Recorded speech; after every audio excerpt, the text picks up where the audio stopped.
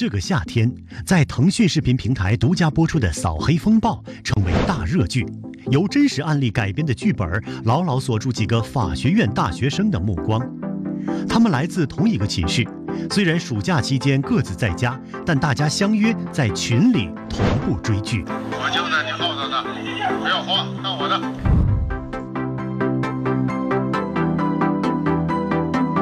姐妹们，我以后就是有组织的人了。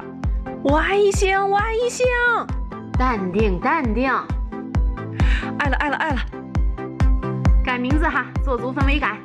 轰轰雷雷的粉红粉，一星迷妹，孙红雷的大漂亮相继上线，几个人开始了轰轰烈烈的追剧路。可是有一天，群里的画风突然变了。我的天啊天啊！十八集太好看了吧？啊？你怎么才看到十八啊？你怎么才看十八？我就更新到十八呀。不太行啊，小老弟，太慢了吧？超前点播了解一下。超前点播呀？凭啥？多钱？VIP 不管用了呗？就三块，还要加钱？别生气，别生气，消消气儿，消消气儿。到底想要什么？我就想要公平。本以为超前点播已经够过分了，没想到腾讯视频的下一波操作更气人。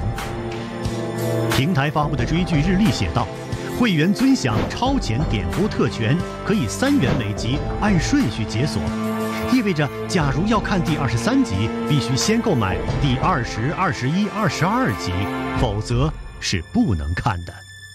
这是什么霸王条款？这？你品，你细品。感觉被敲诈了。